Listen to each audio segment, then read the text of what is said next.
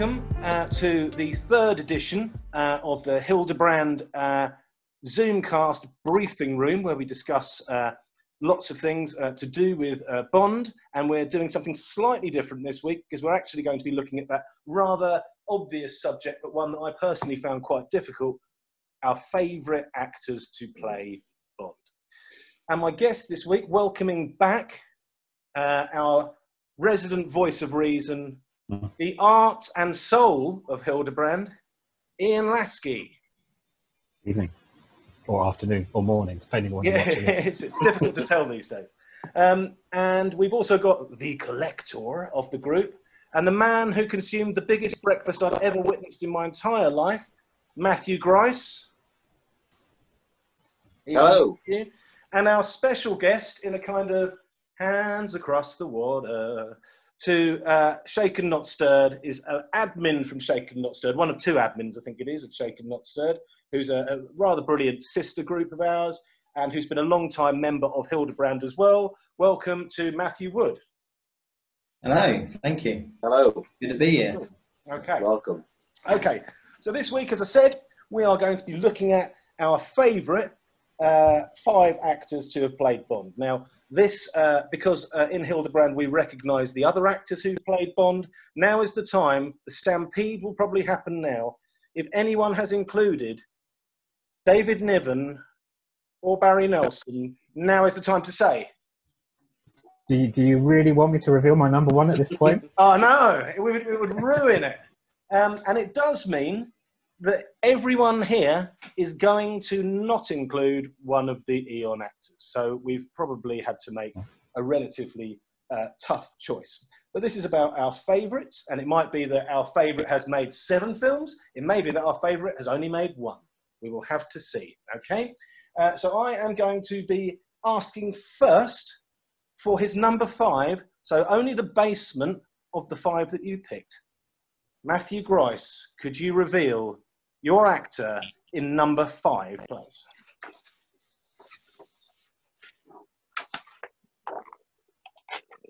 Oh, oh, oh, oh. Oh. Using, using the state of the art biro related technology there. Fantastic.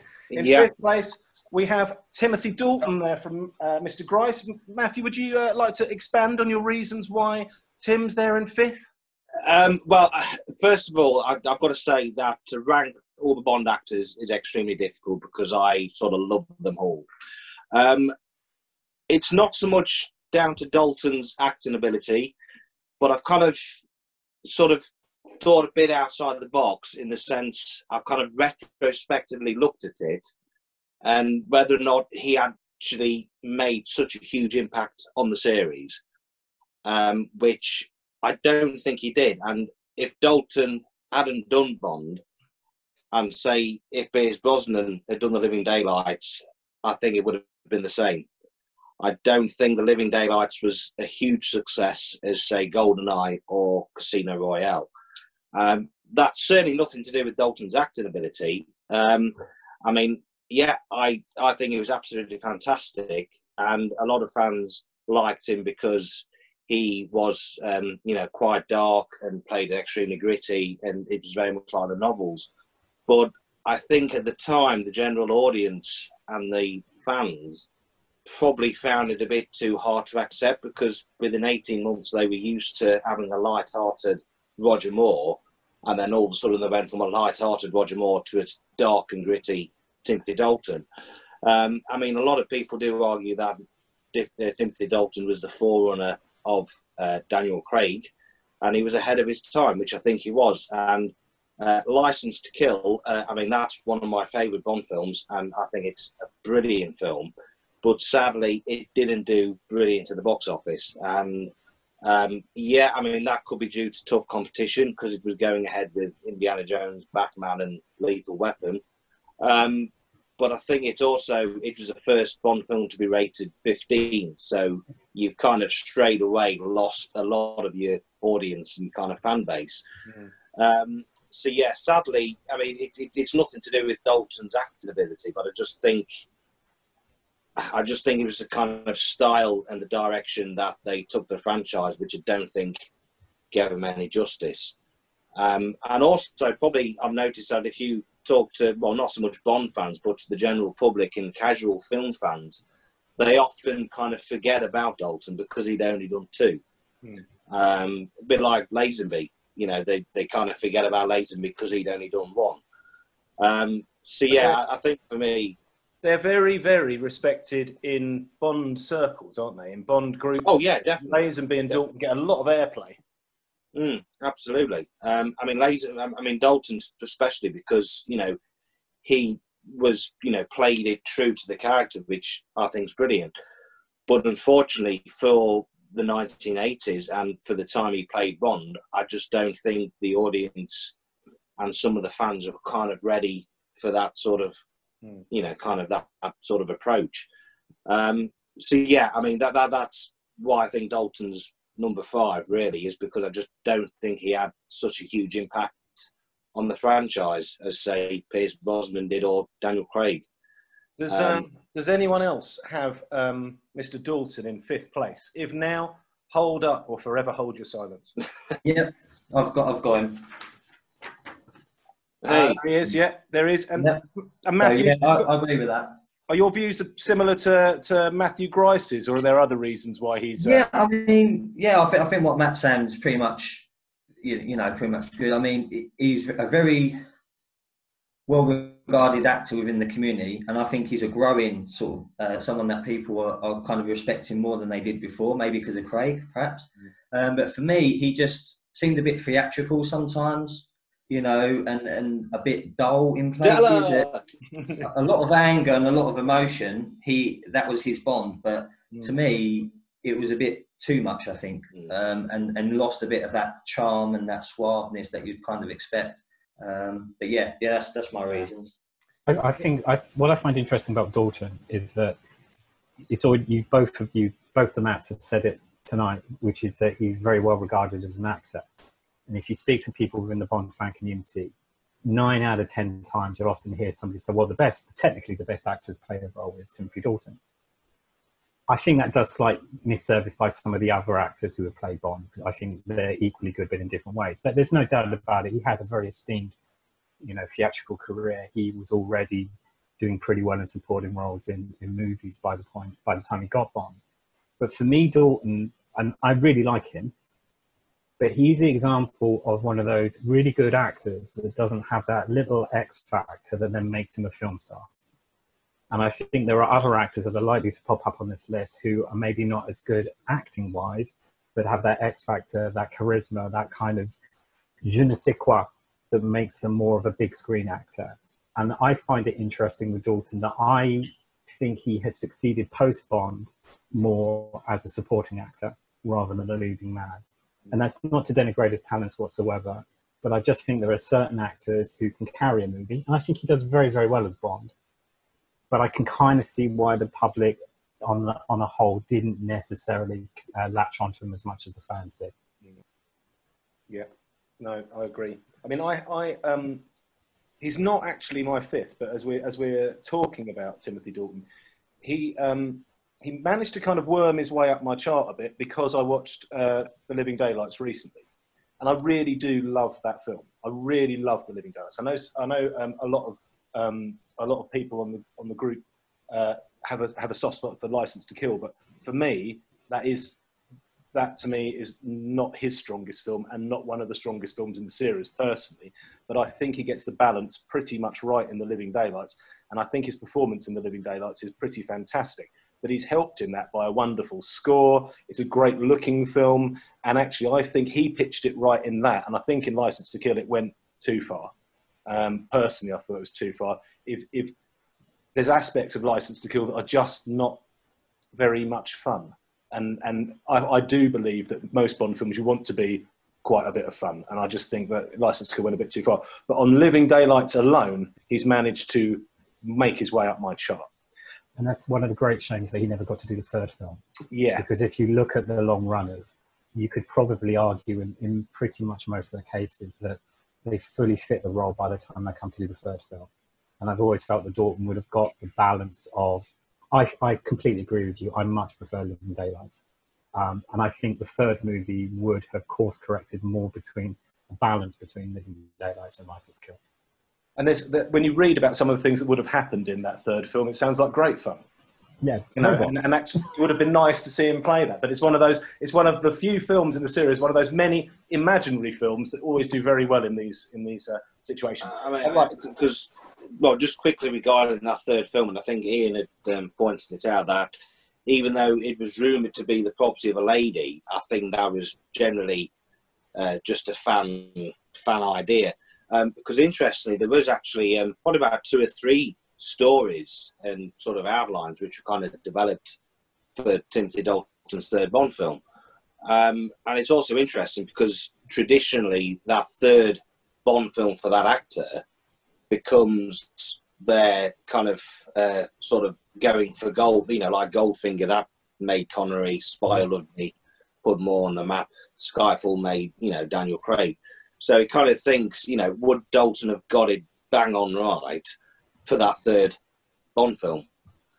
Um, but yeah, I, I, mean, I mean, it, it, it, it's definitely you know one of them interesting kind of what if moments, really. Yeah, um, he was uh, he was not massively popular in America, was he? And I think that always makes a big difference no. in terms of no. how how well they're retained. Because I think well, the producers also, probably would have kept him, wouldn't they?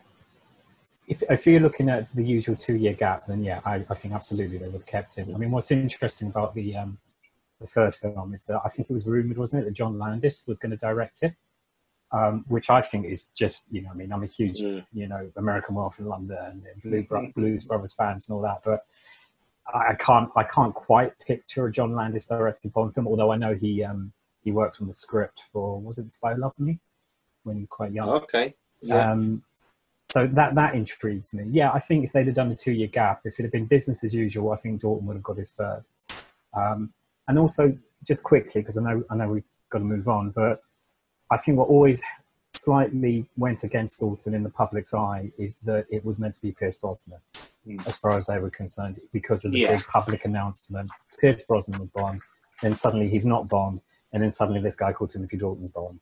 And I think that might have gone against him a little bit. I've got a slight confession there, which is awful, because I was very young at the time. I didn't have a clue. Young, I didn't have a clue about Pierce Brosnan. Not a clue.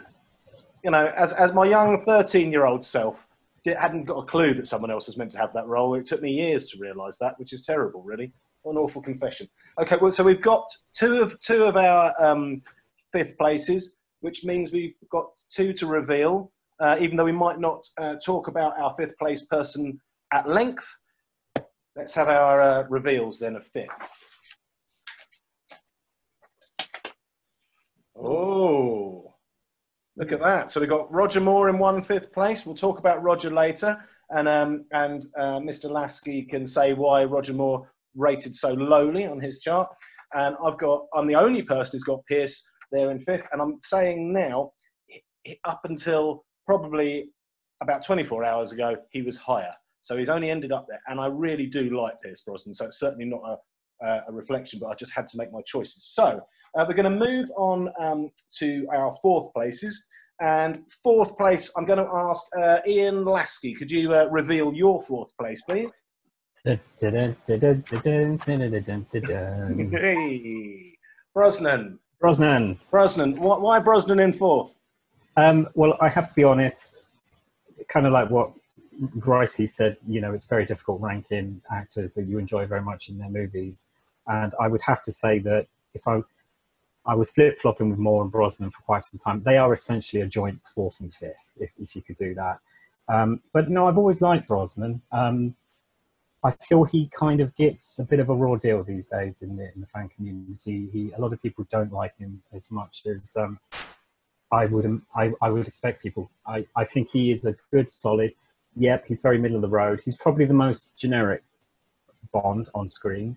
You know, he's good looking, he's suave, he's pretty good with a quip. He's pretty good in the action.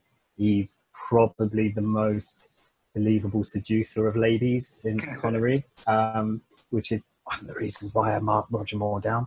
Um, but no, I just I like him. I, I mean, I think he suffers from being in probably the most run-of-the-mill series of films. I really like Goldeneye. Tomorrow Never Dies is, is an okay, fun action movie that's trying to be a bit John Woo at the end. Um, I think the world is not well, the world is not enough is my Brosnan Bond film that I wish was so much better because I think it's actually one of the most interesting, and I think he acts in that very very well. There's there's a lot of quiet moments with Brosnan where you, you kind of sense that he's he's acting more introspectively. There's you, you can see things going on in his behind his eyes. I quite like that sort of slightly more reserved style of acting, which will come factor in later on in my list. Um, if I have a criticism of him, I think he he overplays the comedy a little bit. You kind of can see that he comes from a sort of American television sort of sitcom light light romantic drama kind of background that he sort of slightly overdoes the kind of quips and now and then and the comic exaggeration gestures and that. Um, but I've always felt that he was an actor that was capable of doing more. I mean, I don't think he's the deepest actor. I don't think he's got the greatest range. Um, but I think he's by no means the least effective actor to play James Bond. Mm. Um, and it's a pity that he didn't quite get the scripts to deliver on the talent that I think he has. I think they relied too much on him being um, a good-looking, handsome, light, romantic action character. Um, very much the antithesis of what Dalton was doing, and I think that very much is a reflection of, of what Matthew was saying about License to Kill not doing very well. He had this long break of so many years, six years, whatever it was, and I think there was a real collective decision to let's get somebody in, a kind of Roger Moore style actor that we know is popular to a degree already, that's going to play it fairly safe, that's not going to do anything too dramatic or anything too controversial, and it's freakingly, freakishly good looking. So you know, it's going to get people swooning over him, and it worked. Mm. Um, but it's a shame that the films didn't then develop to sort of you know, a little bit more interesting dramatic, dramatically as, as the um, franchise went on under him. Ian, would you have liked to have seen him do Casino Royale? No. Okay, that's very very quick and honest answer. No, no, because I don't think I I wouldn't have. I would have liked him to have seen. I would have liked to have seen him do something more in the vein of. I'm not saying Skyfall, but more in the vein of something like that, where a mm. slightly older veteran Bond. Yeah. To me, the charm of Casino Royale is the reboot element of it, and, and, and what that actor brings to the role. And I don't think I mean, to some extent, he kind of had a sort of semi casino royale with The World Is Not Enough. It's a similar scenario where he's mm. sort of sort yeah. of falling for a woman and she turns out to be the betrayer, the, the, the big villain, which I wish they would do something like that again in the series. We need a big female villain. Um, but no, I would have liked to have seen him do a more sort of seasoned veteran kind of mm. slightly melancholic, you know. Yeah, that's what I would like. Mm. Um, with, uh, without um, prompting anyone if they've got Brosnan higher, uh, has anyone else got him in, in fourth? No. Okay. Um, obviously, I, would already had him and he was in fifth place. Um, but I was trying to think what, because like yourself, I found it really difficult to pick between fourth and fifth. Um, and I think the thing that I, I like all of Brosnan's films. Um, not as keen on Tomorrow Never Dies, but I like all of Brosnan's films. I think Die Another Day is great fun. Um, mm-hmm. And the thing I think he, and I know Matthew Wood might disagree with this, I think he's got some very solid championship level films, but he never made a Premier League film. And, and my view was, and the reason I had him in fifth is because my view is all the other four above him have. And that's what I meant by The Living Daylights. I would put The Living Daylights somewhere in that top batch of seven or eight films. Um, I, would, I would say GoldenEye's pretty high up there, personally. I mean, I it's, that definitely seems to be a film that at the time I remember being really impressed with it. And I've always really enjoyed it. But it does seem to have fallen away in a lot of people's affections as the years have gone by. Um, I mean, what I, what I will just add one final thing about this is that I think he suffers nowadays from who he followed and who followed him. Mm. When you're sam- when you're sandwiched between Timothy Dalton and Daniel Craig, mm. um, your deficiencies are a little bit more obvious. Mm.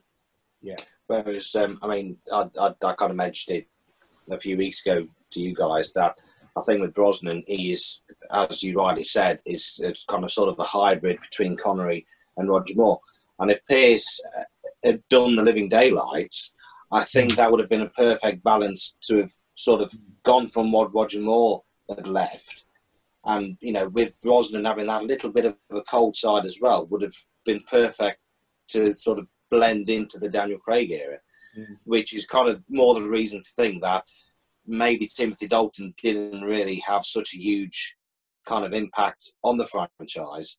Yeah. Um, and I think if Pierce Brosnan was Bond, you know, instead of Dalton, um, I think it would have just been a you know been a lot more of a better sort of transition.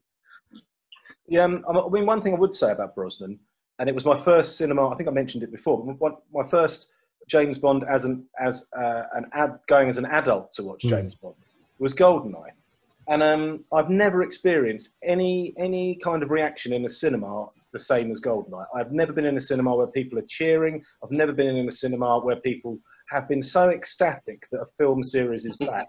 and Goldeneye caught people's imaginations.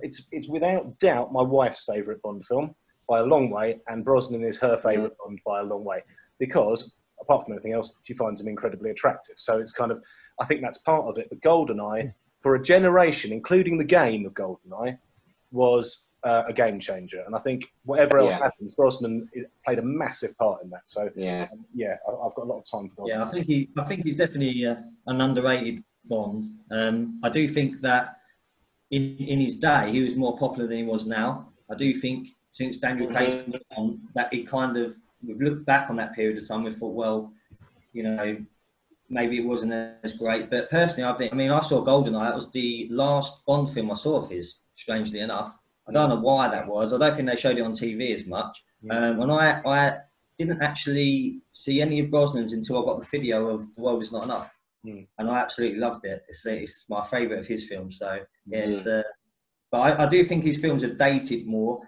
than any other film because the technology from the '90s to now rapidly Yeah. changes in a decade. yeah. definitely. It, Yes. it really does show. There- there's parts of Goldeneye where they're talking about email and the internet, and it is like, it, it's yeah, I know, I, I get what you're saying.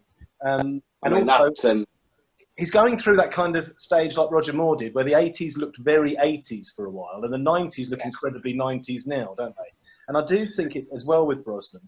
He, I don't know why, as um, I think Ian Lasky was saying, that his his films didn't really push on, but they're very, they're good. Uh, he's a good all rounder. I don't know how someone can be accused of being kind of innocuous and create such negativity.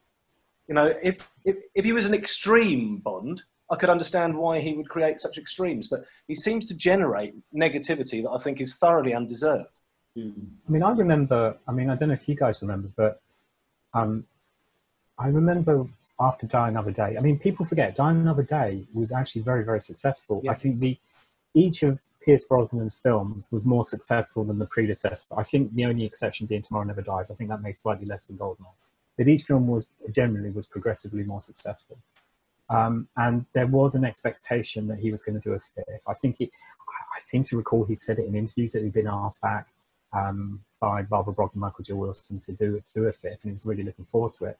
And then, of course, cha- plans change, and he he wasn't rehired, and then went with Daniel Craig. And then there was that weird period where, very publicly, he was going on talk shows and that kind of saying, "I want to do another one, but I've not been told. I don't know what's going on."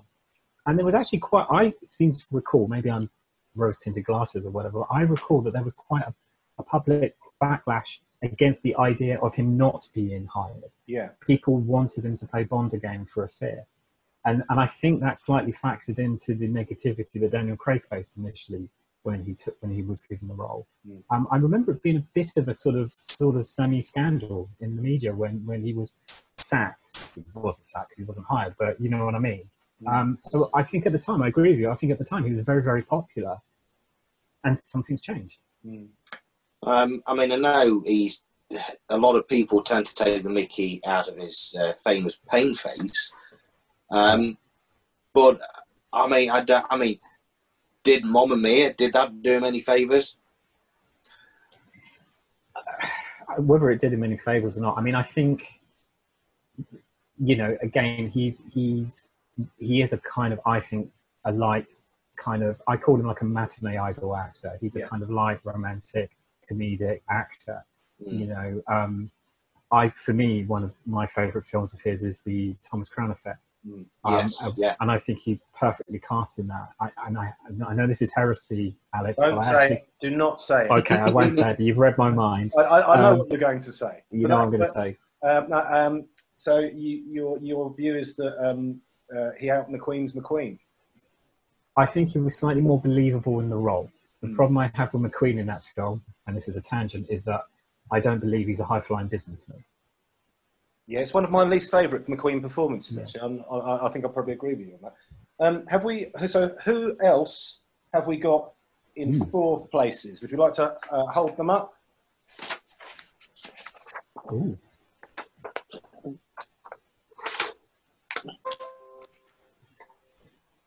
Ooh. see that. Mm. Woo. Sorry, Alex. Ooh. It's an interesting it's really, really difficult. That's, Really difficult. Really that's uh, well, you've got two controversial choices there, um, and I guess we will get into um, more in-depth uh, views on those actors, and you can uh, chip in when we get to them. Um, and we have next Matthew Wood. Would you like to let us know who you have in number three? Place? Yeah. So, make sure I don't get mixed up. So, 003 is. Oh,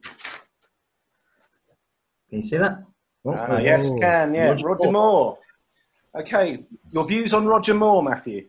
Um, well, it's hard to sum it up. I've been trying to think about this all day, actually. But he, he is just an he is Bond, really. I, that's how I see it. When you see Roger Moore, you think to yourself, if you could have a list of anybody, any actor that could play Bond, he would be on every list. I can imagine.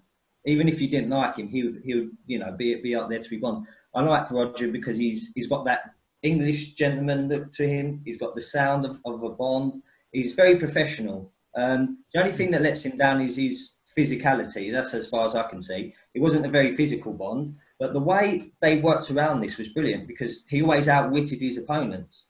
Um, he outwitted the villains, and, and the best example I can think of is in Moonraker when the assassin's up the tree and he's doing the clay pigeon shooting, and he said, "Oh, you missed, did I?" And then Right. he falls down, and uh, such good sport, you know. And it's just unbelievable. He was great with the ladies, you know. Um, he had the humour. He was suave, you know. He was, and, and his films took you places where you wanted to go. Yes. You know, there, there was no dull locations. So um, yeah, he's he's definitely a firm, one of my favourite. Yeah. Um, Ian Lasky, you had him in fifth. What what Yeah. is- what's what's the problem with Rod? like I said, it, it's kind of fourth and fifth to me were, were a coin flip. But the reason why I I relegated Rod to fifth, so Rod, um, you know, first of all, I I think as an actor and as a human being, I think he was top. He was a top-notch human being. I think the work he did for uh, UNICEF, wasn't it? I think it's probably more important than anything he's ever done with Bond. Um, which is not to say that, again, to demean his Bond work, but I think the UNICEF work was that good and that important. And I think he should be forever um, thanked for that. Um, and I was very lucky. I happened to be at a film screening many years ago at London. I was sat in the front row, didn't know anything about it, and Roger Moore stood, walked out into the audience, stood right in front of me, and gave a five-minute introduction to the director. And he was urbane, charming, witty, charming, witty, humble. He was he was a really lovely guy. So I think as a person, you know, top notch. I just find there are two of his films that I actually dislike, um, and that has dropped him down quite a bit for me. I don't particularly like his last two films, um, and I don't find him particularly charming when it comes to the ladies. I actually find him. A, I hate to say this, but I find him a bit lechy creepy. yeah, there's it's it's that kind of. I mean, I, I agree with what you're saying. I think he's actually he of all the actors, he incorporates a lot of the kind of sort of high living snobbery of Fleming's character, and and you know, I he he is the Bond that I think would be fussy about what he eats, where he eats it, what Mm. he was wearing at the time, Yes. and all that. And I and I I could actually imagine him acting in a kind of 1950s period version of Bond. I think Mm. would fit it to a T. Um, I just don't find him a ladies' man. Um, and the problem for me with, with his Bond is that so much of his movies were about him seducing ladies. I mean, I think he had what two, three bed scenes per film at least. I mean, that Um, scene in The Man with the Golden Gun when he was like, you know, had a go on Maud Adams whilst Britt Ekland was in the wardrobe. In? Yeah. I mean, um, who the bloody hell does that? And can you get away with that? Well, But I mean, the fact that the fact that his name is innuendo itself is, Oh, is yeah, kind of, definitely, you know. definitely, yeah. Um, but no, I mean, don't get me wrong. I kind of agree with I think Alex. You were saying about Brosnan ha- not having an absolute A-lister of a film, and I do see that Roger does. Yeah. Um, but I also think he has some Z-listers of films as well. Uh, what's interesting is that he's kind of got this um, a reputation for um, just being Roger Moore and who's happening to be playing James Bond. Well, I think he's Yeah. quite different in, in his different films. He's very different in uh, First two. Man with the Golden Gun to Moonraker. For Your Eyes Only, Yes. different again. A View to a Kill, he's quite different again. And it's I, I quite like the fact he plays it in slightly different ways. I do get the feeling it's kind of because he's just reacting to the film before or what he's been told, which is, which is fine. Um, and I do think it's a shame that because he looked so good in Live and Let Die, he looked really good, and I think he just. Uh, I think we mentioned it last last time, where he seemed to go from looking five years younger than he was to five years older uh, by the time he finished, and I think that was a uh, that was a shame. And I, I agree with Ian Lasky, um, even though I quite like A View to a Kill, that he probably did stay on for a couple of films too long. Mm.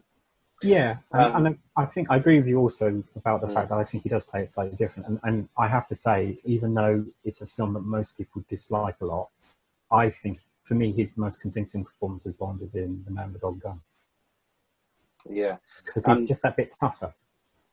It's interesting because, yeah, I mean, when you see his performance in that film, it is different to Live and Let Die. Mm. Um, but I think in the hotel scene, uh, when he was about to uh, break uh, Maud Adams' arms, arm, um, I think Roger Moore himself was quite uncomfortable with Yeah. doing that. And obviously, I mean, they wanted that sort of Sean Connery kind of edge to him. And um, I mean, yeah, I mean, the man with the golden gun, there is some really good moments in there, especially dark moments. Um, and but for me, I think The Spy Loved Me and Moonraker are probably the most cheesiest of films in the sense of just what he says to the women and kind of how he gets them. So, well, there's no way that would work in real life. Um, but then, for your eyes only, that's my favourite Bond film of his. I think you know, real dark, dark classic thriller. Yeah. Um, yeah, I mean, with Roger Moore, I mean, obviously with his seven films, because he is my third third choice as well. Um, and I think, yeah, I suppose with those seven films, each film does slightly differ. He does kind of play a little bit of a, a different role on it, which you know I think's you know sort of interesting. See, I've got. I, I, I, he, he's also my number three. Um, Yeah. And I, the film, I, I have to say, I think as as I get older, um, my tastes in in the Bond films has changed dramatically. And I used to kind of think, oh, you know, I want I want to watch the films that are, you know, uh, closer to Fleming and more serious. Mm. But if someone said to me now, you will never get to watch one of those films again, or you'll never get to watch Moonraker again, I would really miss not watching Moonraker. I'd really miss not sitting down over Christmas and watching The Spy Who Loved Me or uh, or um, For Your Eyes Only. I think they're I think they're really kind of comforting Bond films, and maybe it's just because um, you know when I was little, he was he was James Bond for such a long time, and it was either a Roger film or a Sean film that was on TV, and the Roger film, you know, with you know, Jaws and the kind. I I I, I really find his films very likable. They're just not quite as um, convincing, I don't think, as as some of the. I I think it's the um, Sunday afternoon Bond. You know, you, you could Oh, put definitely. his films on and just for entertainment. You'll be entertained for two hours. Yeah. You, obviously, the critic side of it, there's different people that say different things. But personally, I just think it's just a thoroughly entertaining Bond. You could just put a film on any time with him. yeah, And, and, and don't get me wrong, I, I really do enjoy him. As, as, you know, my my nitpicking is nitpicking, um, and I've, I've I've learned to shut my eyes and do that when he starts kissing the ladies. I Um, mean, I certainly need to um, kind of take lessons uh, from him whilst he kisses a lady because I I want to know why does he suck his cheeks in whilst kissing them. And I mean, I kind of jokingly try that to my other half, and she just like hates it. She kind of like literally kind of throws me, you know, throws me across the room. And it's like, well, if it worked for Roger Moore, why is it not working for me? What am I not doing right? You know. Throws you across the room. Wow. Well, you know, kind of like pushes me away. You know, I, will- I will say this. I not literally just, like a Mayday kind of Yes, I just over the spins you around. Yeah. I think what I would say is uh, what I was saying about um, my wife finding um, Pierce Brosnan very, very attractive. At the other end of the spectrum of attractivity, of attractiveness, attractivity, is uh, Roger, because she finds his um, his neck. I think is the one of the main. um, and she just, especially by the end when he's kind of got that weird dome hair thing going on, he Yeah. looked quite strange by then. I mean, if you saw him looking like that out and about, it's, it's quite an extreme look, isn't it? And I think she, she struggles with that. And I don't think she's necessarily in a minority there. I think I think I think actually if I think about it honestly, I think my criticism in that department is less on Roger Moore and more on the way the films are written when it comes to that. There there is a kind of cheesy 70s British sexy sitcom kind of corniness to, to some of that aspect of the film. Yeah. And and that you know, I know a lot of people who are watching this are going to probably screaming, "Oh, he's too politically correct," but that that does date Politically correct. um, that that does date that aspect of the films more than I think it does in the Connery era, where I think he's Mm. genuinely a bit more charming, and the women in those movies have more agency. Um, one thing I will add, just finally about Roger, I wish he had taken himself more seriously as an actor because I think he actually has he had more skill as an actor than than he allowed himself. Um, he was far too self-deprecating about his skills. The whole business about you know I have I, I act with this eyebrow, I act with this eyebrow. Um, he, he does have, he did have more depth and range as an actor. And I just wish every now and then he'd have taken the role a little bit more seriously so we could have seen that a bit more. You do, you do get a kind of glimpse behind that curtain in For Your Eyes Only, don't you? You There are parts of that where you think, actually, he's Mm. this is quite a Fleming-esque performance here, and he's pulling it off really Yeah. well. And then that Yeah. kind of, you went back to Octopussy, and it was kind of back to comedy Roger, uh, which was a shame, actually. I thought.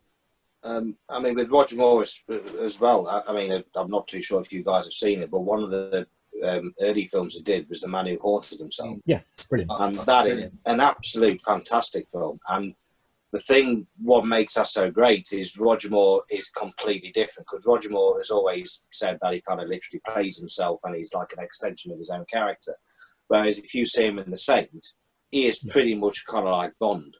Yeah. But with The Man Who Haunted Himself, he is he does actually act differently, and it is such a fantastic performance. And as you know, and as uh, Ian quite rightly said, if he'd done more kind of things, you know, films like that. Um, but then, if you looked, I, I think he did um, Boat Trip in two thousand and three.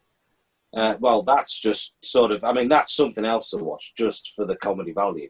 But that's kind of He's gone very one from extreme to the other. World as well. Mm. Spite, yes, yeah, they played the kind of Blofeld like villain.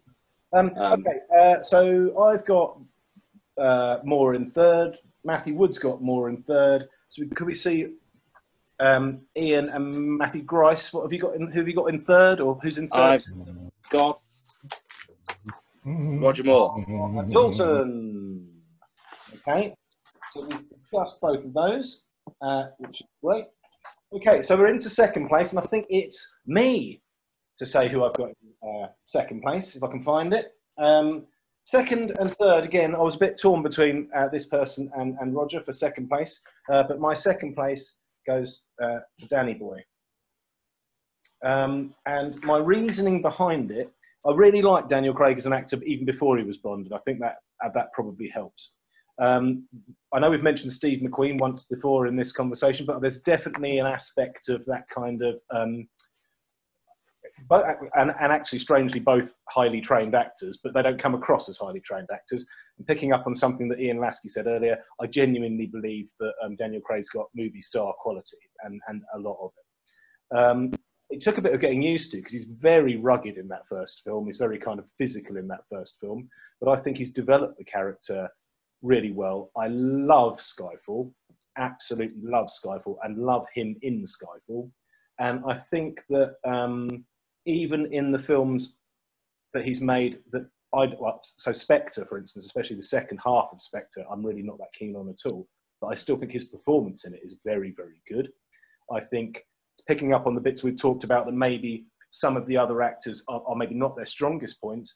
I think he's believable in the um, action scenes. I think he's highly believable in the love scenes. Um, I think he has got a good range when it comes to showing emotion. Um, some people, I saw something the other day, people think he tries a bit hard. I'm not, not sure about that, to be honest. I think he, he comes across as quite a natural actor, especially, I mean, like the moment in Casino Royale and in the shower, I know people mention it, that to me brought a real depth to the Bond character. Um, I genuinely, genuinely, genuinely hope that No Time to Die is right up there with Skyfall, and he finishes his tenure as he as he deserves to on a high, because I think he's brought an awful lot to the party, a lot to the series, and I've got a lot of respect for his his take on Bond. So um, that's my thoughts on Daniel Craig. Uh, uh happy for anyone to add to that. Yeah, um, I think I might know who your number one might be, Alex. Hmm.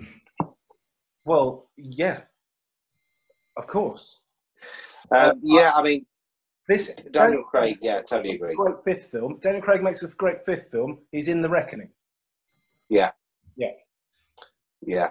Um, yeah, I mean Daniel Craig. Yeah, I I think is absolutely fantastic. Um, I just kind of always feel that there should have been another film between Quantum and Skyfall, uh, because this the Skyfall. I mean, yeah, it's a brilliant film, but it the the sort of like the look of Bond and the direction, the styles was completely different to Quantum of Solace. Um, but yeah, I mean, with Daniel Craig, I, I, I yeah, I, I, I think it's fantastic. Well, I think you're right in that he went from kind of if, if Quantum follows directly on from Casino, he's gone from just qualified to over the hill, isn't he? Over the hill, yeah. see, I don't, I don't, um, I don't interpret Skyfall like that. I, I, I interpret Skyfall as not so much that he's over the hill as in he's physically too old or anything like that. I think it's a midlife crisis Bond film, which I guess is age related, but also it's it's a, a Bond film that feels betrayed and suddenly feels unsure of himself and um, feels um, like he was let down, and it's all of that aspect. It's it's, it's angst Bond, um, which I absolutely adore. I mean, I absolutely adore that film. Um, I may wax lyrical about Daniel Craig a little bit later. Yeah, and you would. You Skyfall. Hmm? Right? Yeah, I'd have been fourth. Yeah. Um, and and this is uh, like like Ian said earlier, it's hard to rank everybody because they're all really really good.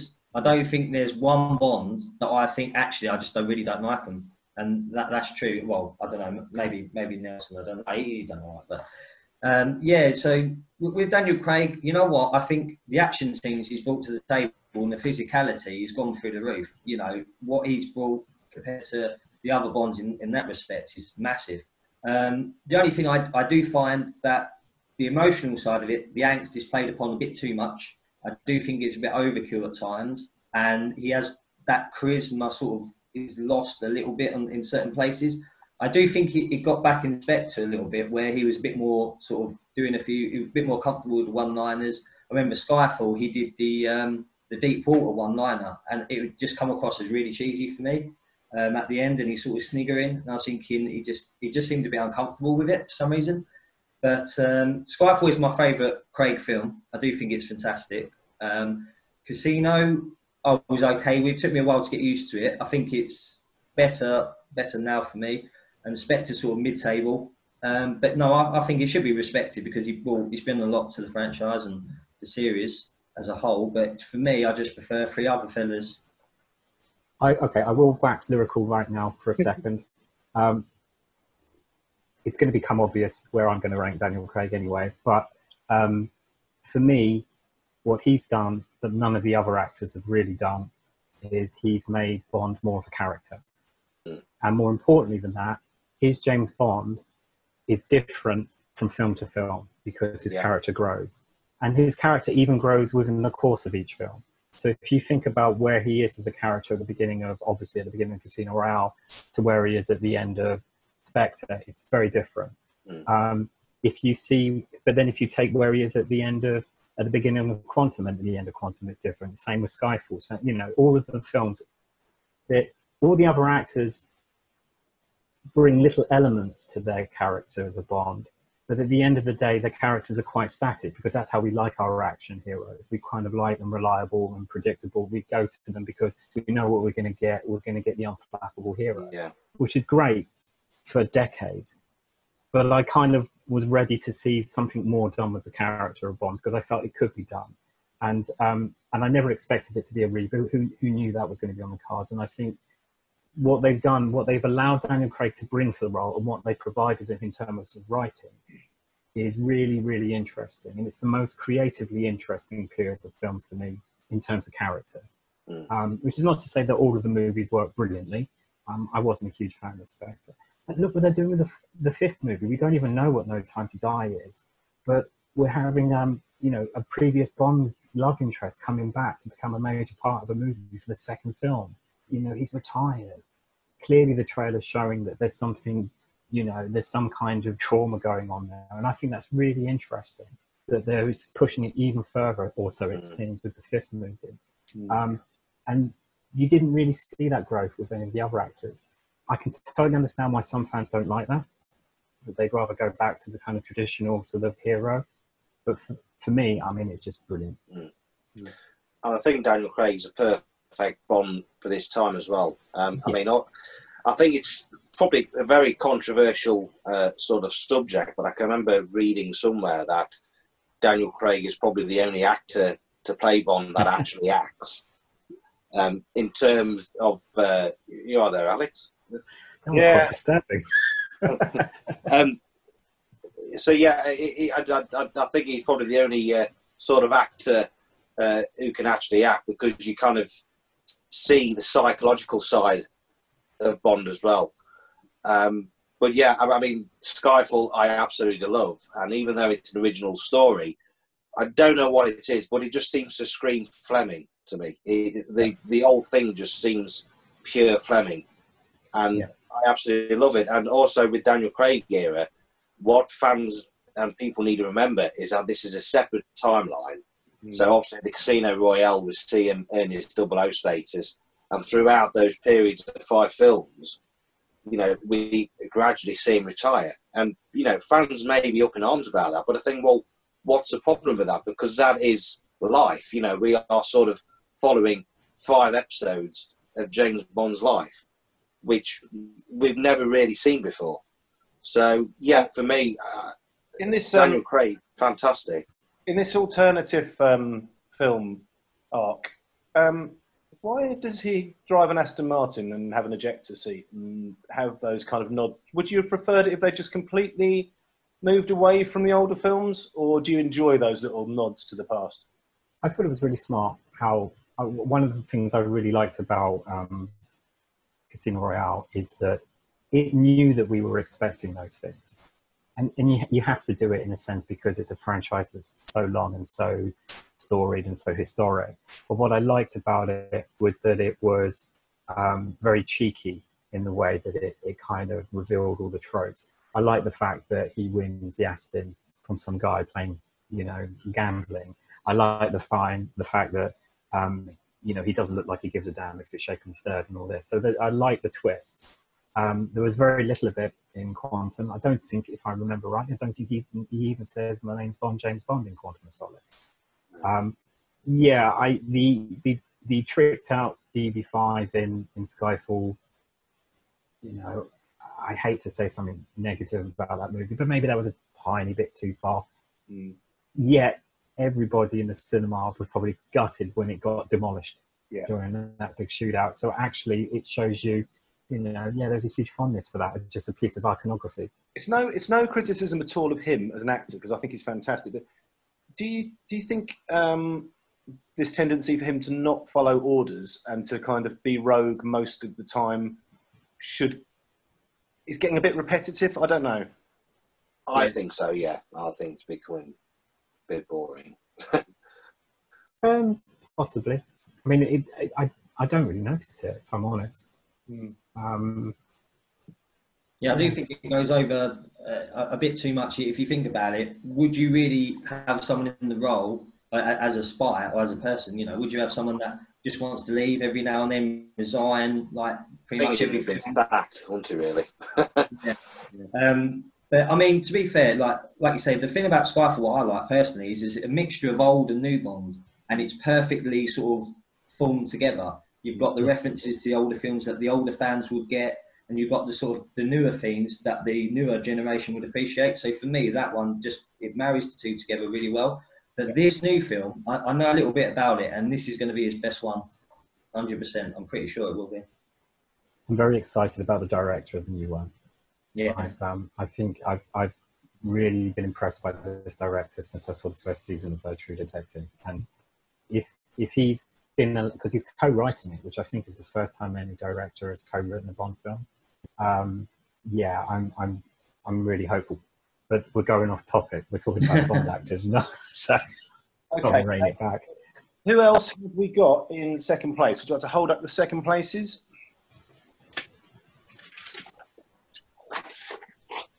Henry, yeah. Brosnan. Brosnan. Oh, A lot of love for Brosnan in the room. Fantastic. My, my wife just celebrated. I just heard a cheer. Brosnan, two second places. Some people appear to have made a terrible mistake. Sean Connery's lower on your list, so I don't understand. Not compute. But Um, Pierce for me was my Bond. He was the Bond that I grew up with, and you know, when I was at school, when I was a teenager, I used to kind of sort of base my style and sort of mannerisms on him, which probably explains to why I never got a girlfriend. Um, but yeah, otherwise, you know, I, I, I, he was just Bond and he was just a dude. And I'm sure Matthew would probably kind of sort of uh, kind of agree on that to to a degree, would you? Yeah, oh, 100%. I think, you know, I mean, in the 90s when I was growing up, um, I actually heard of GoldenEye, the game, before the film. I didn't know what the film was. Yes. Yeah. And it was the gaming side that I was introduced before I even saw a Brosnan film. I watched Yeah. Connery and Moore before Brosnan, and I still rate Brosnan very highly, purely because I think he brings that kind of suaveness. He brings the sort of that He's great with the ladies. He's very Mhm. seductive. If you know, if you're trying to in in that field, any woman would just go straight to him, guaranteed. Just click his Yeah. fingers and. Um, but not only that, he does the one-liners really well. He, he hasn't got a great physical side, but he does show it. You know, he's, he's not the weakest of the, of the uh, Bonds, but um, I do think he has got. You know, his films maybe he was let down in. I do think the writing could have been better, um, but his his performance I thought was really good. Mm. Um, I mean, for me, because uh, yeah, I mean, I'm the same with you, Matthew. Uh, I was introduced to Golden GoldenEye '64 before I saw any of the films, and Tomorrow Never Dies was the first Bond film I saw at the cinema, and it was the first sort of action film I saw as well. So, just like for an 11 year old boy to experience that pre title sequence was absolutely exhilarating. So that will always, you know, play a huge part in my life, as well as Pierce Brosnan. Really, um, at the time, I thought he was a dude. Um, as I've got older, I kind of thought, you know what, he is a little bit cheesy in places. Um, but he has done good films after Bond, um, and uh, sort of slightly going off subject, but I do think if Brosnan had done Skyfall, I think that would have been the perfect film for him. You know, if Yeah, Brosnan yeah. had carried on as Bond until Skyfall, I'd, I'd, that would have dealt with the old sort of age theme, and it would have just been a perfect ending to her, well, to Brosnan's and Judi Dench's relationship as M. So, as much as I love Skyfall and as much as I love Craig in it, I also think that would have been a perfect film for Pierce Brosnan as well. Um, but yeah, Pierce, yeah, number two for me is a complete utter dude, legend. And uh, Ian Lasky, you've got Sean Connery in uh, second place. But Yeah. I haven't talked about Sean yet, so that will probably be the last conversation uh, Yeah. when we reveal our number ones. Okay, get ready for four George Lazenbys. Barry Nelson's.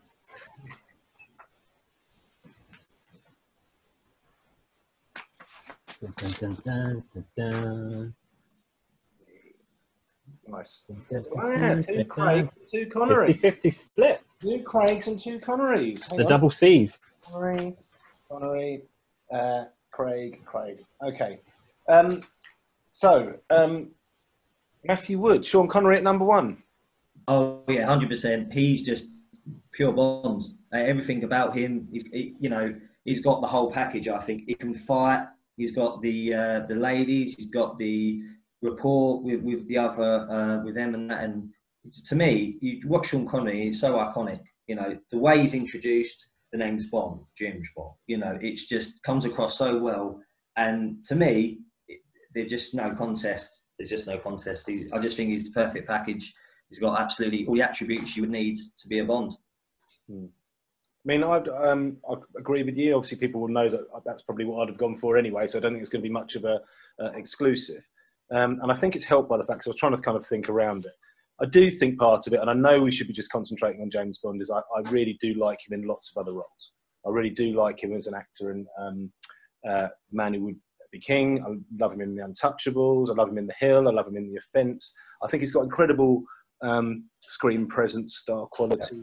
Um, I kind of relate to him, I guess, a bit because um, you know he he's similar kind of um, background to my dad, so that's kind of part of it. Um, but most of all, I like all his films. That's kind of I like all his James Bond films. And I know some people will disagree, and they'll possibly find um, the later ones uh, not not as easy, but they are amongst my favourites. So I think part of it is um, even Dalton. I don't I only like one of the two. Roger Moore definitely there are some of his films that I'm not as keen on. Um, Daniel Craig uh, Spectre I'm probably not as keen on, um, and Sean Connery's I pretty much liked a lot, and I think he was James Bond at the time when it looked the most iconic, and that 60s look with him in the 60s. It takes some beating, and it took when we talked about it the other day with those first five films. Yeah, it's, it's pretty difficult to beat. So um, yeah, I, I, I absolutely love him as James Bond. He's great, and he's he's he's the blueprint. You know, um, and I, I also do feel to some extent that he's kind of taken for granted by the fans. You know, oh, yeah, of course Connery's great, um, but I think he is integral to the success of that first film. Um, you could have probably, you know, when you hear about all the other actors that were being considered for Doctor No, even the more famous actors at the time, um, I still don't know the movies would necessarily have worked anywhere near as well as it did with Connery. Um, and I, I think it gets overlooked a lot by fans that how important he was to the success of the franchise. Um, you know, without Connery, we may not have had a James Bond movie number two. Um, no, I think he's terrific. Um, I don't love all of his films. I, I struggle with um, Thunderball, um, but that's the only one. Um, no, I think he's he's brilliant. Of, of all of the classic pre-reboot Bonds, he's clearly heads and shoulders the best. So I mean, we've we've kind of um, in talking uh, about Daniel Craig and Sean Connery within that sort of second and first place, and clearly there's a quite even split there. Um, in those uh, top fives, no, I, I was ex- probably expecting at least one of us to include uh, George. Um, Matthew Grice, why no Lazenby? Um, it's it's just a tough tough one, really.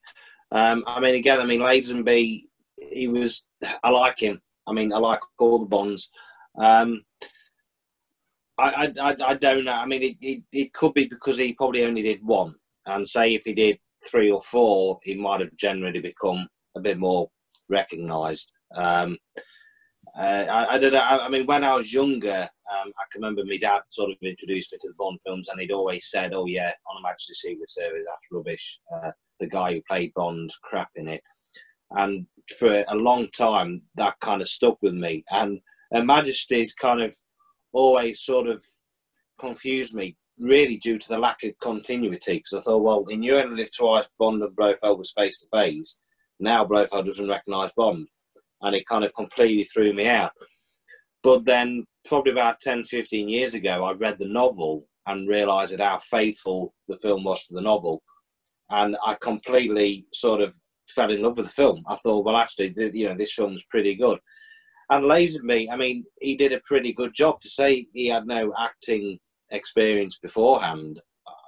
I think he did a real bang up to date job, but I just think maybe if he did two or three films, it might have just given him a bit more of a, a chance to be recognised more. You know, not just by Bond fans, but probably by the general public, really.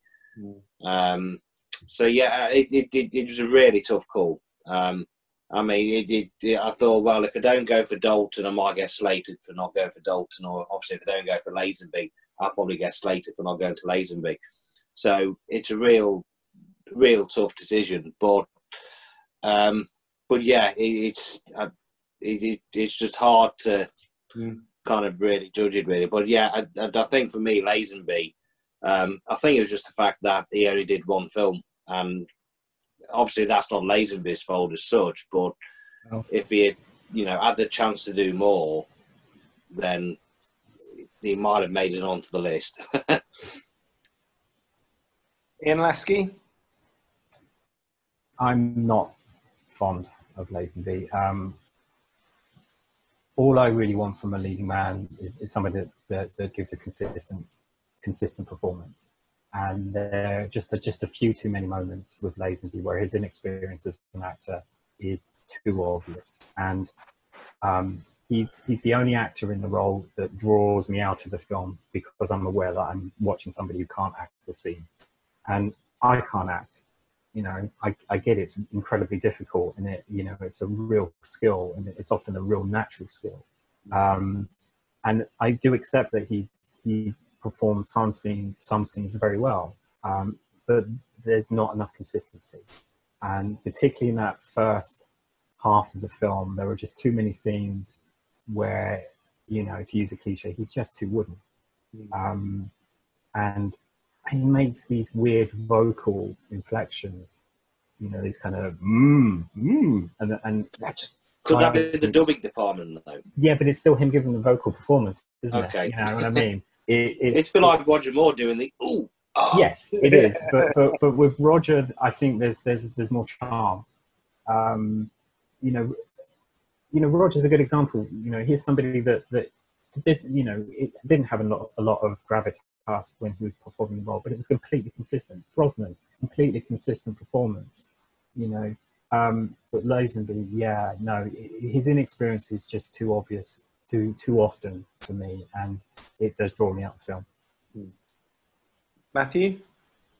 Um, yeah, well, I actually quite like Lazenby. I think he, he's done all right, um, considering he had no experience apart from a chocolate advert and and uh, salesman and whatnot. I mean, to get the role of Bonds, just can you just imagine that now? Just walking into you know the Eon office and just saying I'm James Bond. Who could get away with that? So he must have must have been a good actor to a certain extent. But I mean, he has to me, he's got two great moments in the film. I think the bit where he's escaping um, the guards and he's got the bear and they, they flash the picture. Yeah. I think the horror on his face is really captured, and he does the um, the coat up like that, and he looks very vulnerable. Um, and at the end of the film, as well, I think he's pretty good with Tracy. You know, she's just got killed, and he does very well. But like the others have said, throughout the film, there's bits and pieces where other sort of cast members have to pick him up a bit, and you know.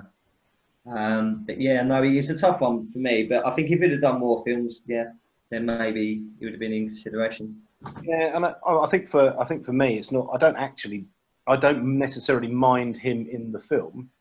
It's just not one of my favourite films. And if you've only done one film and it's not one of your favourites, you're kind of on a hiding to nothing, really. Mm. Um, so that's kind of more where I am with it. But I don't, I don't, um, I don't dislike him in it at all. And there are bits that um, you know I think he, he does pretty well in. But there are other parts where um, you know, like Ian Lasky says, he just looks like a, a good guy, a bit out of his depth you know, which is which is quite difficult, really. But um, okay, so we have got our um, top fives.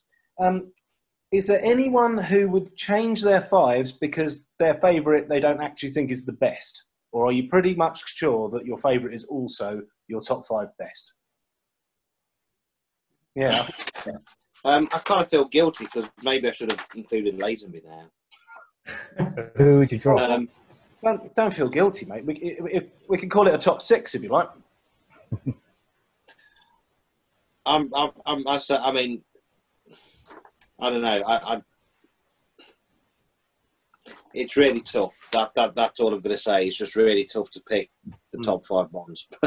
Yeah. um, I think I think you did. I think you explained yourself in in a in a very clear way, Matthew. I think it's yeah.